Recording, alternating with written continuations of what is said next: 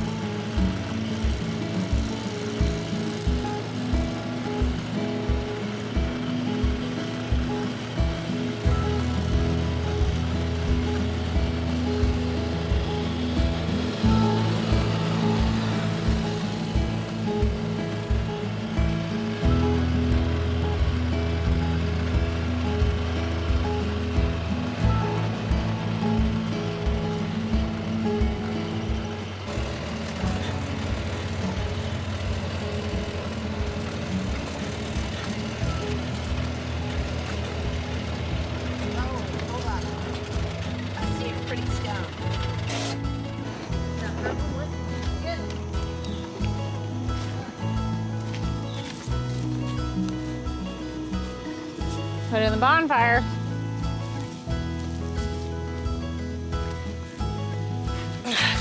Yeah, that is really pretty. Isn't that pretty? Looks like it's got some iron. Yeah. It's this side's sticky. Interesting. Mushrooms are out. I'm gonna look a little bit too while I'm down here. Lion's mane should be should be out. They cleared a good portion on this trail and we're pretty far back. We did want to keep our livestock in a little bit of the wooded area, um, but it looks like they are they're doing pretty good so far. They might be taking a break. Driving those T-posts in the ground, I think that's the worst. My least favorite farm activity. That and scrubbing water troughs. Those two I could do 100% without. I'm definitely looking forward to having the cows down here. Um, I think they're gonna enjoy it. I think they're gonna love being in the wood line and shady spots and pasture and you know, this is just gonna help. Oh, deer, big buck. Holy cow, do you see that buck? I heard him, I see his tail. That was a big buck. My, uh, my husband, well, my son woke up this morning probably like 5.30 and today was our first, uh, first hunting day for, for youth, youth day. And so he was super excited, woke up around 5.30 this morning, got up, got ready, and uh, came in, woke my husband up and was like, come on, Dad, let's go. And so I had our windows open this morning and I always listen. If I hear the firearm go off, I'll wait for the call and come down, and pick him up in the side by side and help him load up. But um, my son was able to get his first first year of the season, and um, he's quite proud of it. So I'll share that picture with you guys. For us, having him be a part of what we're doing on the homestead, and if any of you guys have uh, teenagers that are into hunting, I mean, I'm sure you guys understand how how I feel, uh, but we do definitely obviously thank the animal for providing for us. And um, you know we also make it very well known to to our children uh, that you know you guys are providing for the family you guys are helping feed the family and so it's an honor and it's there's there's definitely something to be said especially how how excited he was. Um, so just a little bit, but yeah, so we're really pumped. But this is looking this is looking really awesome.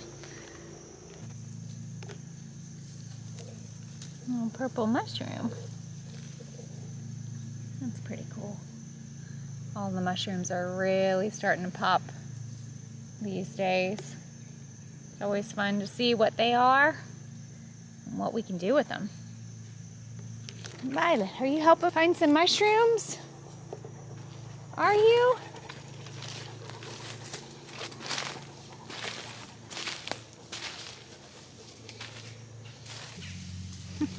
Little snail.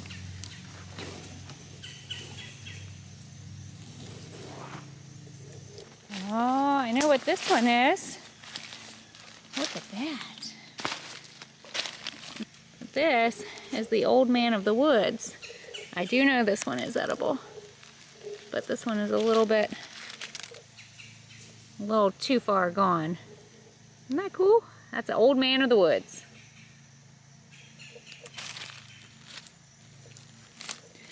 I'm bringing bringing these back with me because I want to definitely want to research this yellow one. There's another old man.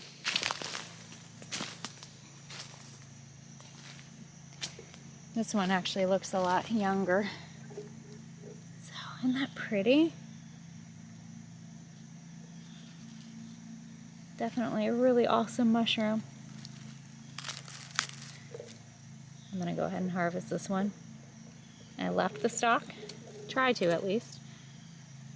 I know that the lion's mane mushroom typically grows this time of year and we were we've been really lucky in the past when it comes to lion's manes. And the other mushroom that I find back here quite often this time of year is the old man of the woods. And then every once in a while there's new mushrooms that I have no idea what they are. Uh, but that is part of my homesteading journey is learning what they are and how to use them and if they're edible or, or as my son says, every mushroom is edible at least once. Take that into consideration when you're hunting for mushrooms. So let's see what we can find. Make sure that you do research all of the mushrooms that you find and harvest prior to eating it.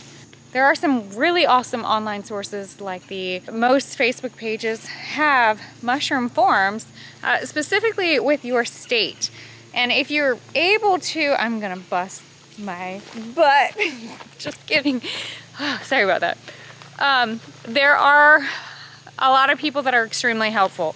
If you're going to try to identify your mushrooms, take plenty of pictures from all different angles, even to the point on what is it growing on. Part of being able to identify what mushroom it is, is by where is it growing? What is it growing on? So that's always helpful too, especially when it comes to certain mushrooms that you're just not 100% sure of. Oh, that is some beautiful turkey tail. I might have to come back up here with my basket. There's some more on that side. Are you coming for a walk with me? See, you're not always the lazy farm dog. You're such a good girl. Yes, you are such a good girl. Violet does come with me quite often, especially when I'm up in the woods. You never know what you're gonna run into and it's always good to have a bodyguard, especially when it comes to being out in the woods. Look at that old man. There's another one behind it. Aren't they unique? I just think they're so cool. Another one. And another one. Aren't they unique though? There's no gills on the bottom. It's very porous. That's what it looks like on the bottom. Very porous. The stalk has like a hair. And yeah, once you find them, you are not gonna, you're not gonna be able to mistake that for sure.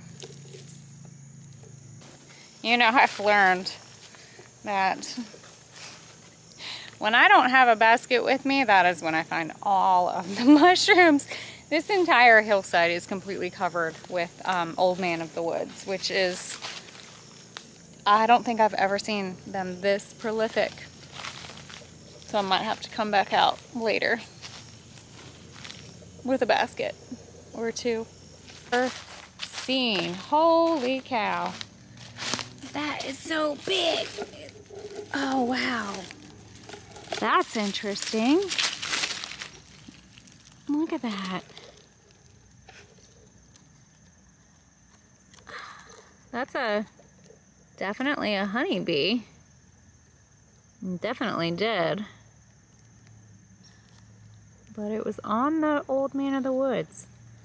Look how big that is compared to my hand. That's huge. But because the bee is on it, that's actually even more interesting.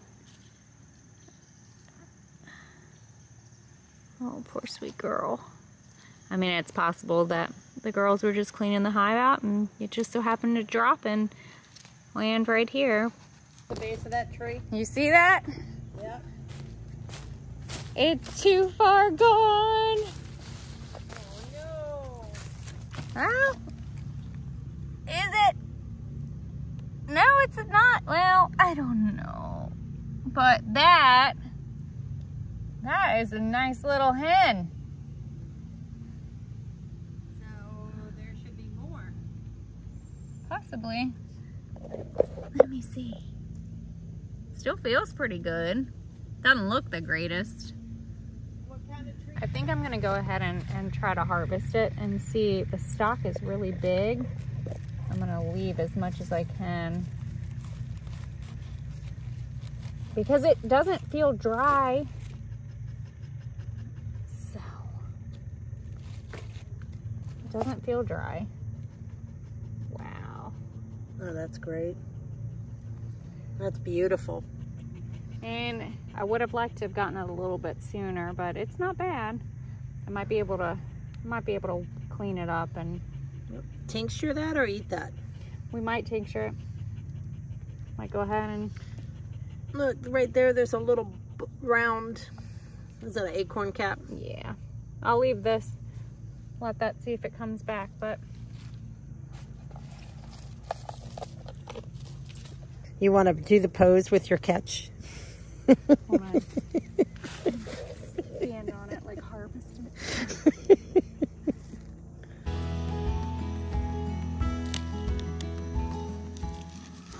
Thank you all for watching, and as always, don't be afraid to get your hands dirty and learn something old.